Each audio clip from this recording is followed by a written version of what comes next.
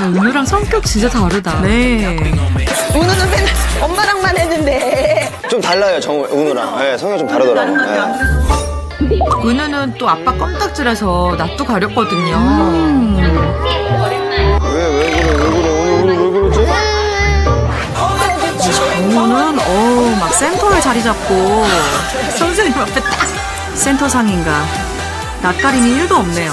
댄스, 예능감까지. 문센 센터, 나야, 나. 아빠 그냥 간- 앉아 계시면 될 것 같아요. 전 잠시 나가 있어도 될 것 같은데. 정우 어깨. 엄마가 어깨 어깨. 군중 속의 고독이네요. 뭐 아빠가 할 게 없네. 커피 한 잔 하고 오셔도 될 것 같아요. 잘하네, 저 잘하네. 짝짝. 아우 잘했어. 아우 그렇지. 짝짝 잘했어. 뭐 짝짝. 선생님한테 몰입이에요 몰입.